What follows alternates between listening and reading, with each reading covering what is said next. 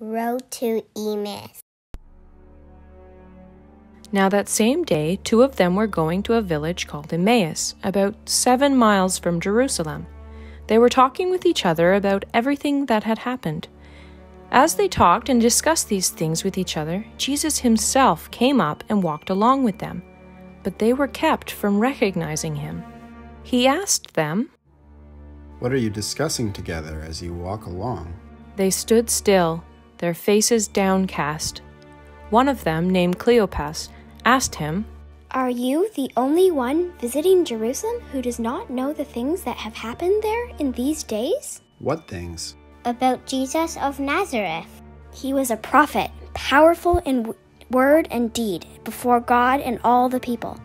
The chief priests and our rulers handed him over to be sentenced to death, and they crucified him. But we had hoped that he was the one who was going to redeem Israel. And what is more, it is the third day since all this took place. In addition, some of our women amazed us. They went to the tomb early this morning, but didn't find his body. They came to us and told us that they had seen a vision of angels who said he was alive. Then some of our companions went to the tomb and found it just as the woman had said, but they did not see Jesus. How foolish you are, and how slow to believe all that the prophets have spoken. Did not the Messiah have to suffer these things and then enter his glory? And beginning with Moses and all the prophets, he explained to them what was said in all the scriptures concerning himself. As they approached the village to which they were going, Jesus continued on as if he were going further. But they urged him strongly. Stay with us, for it is nearly evening. The day is almost over. So he went in to stay with them. When he was at the table with them, he took bread, gave thanks, broke it, and began to give it to them.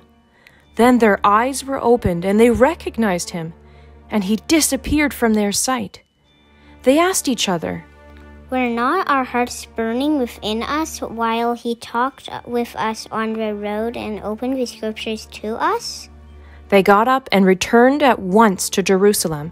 There they found the eleven and those with them assembled together and saying, It is true, the Lord has risen and appeared to Simon. Then the two told what had happened on the way and how Jesus was recognized by them when he broke the bread. While they were still talking about this, Jesus himself stood among them and said to them, Peace be with you.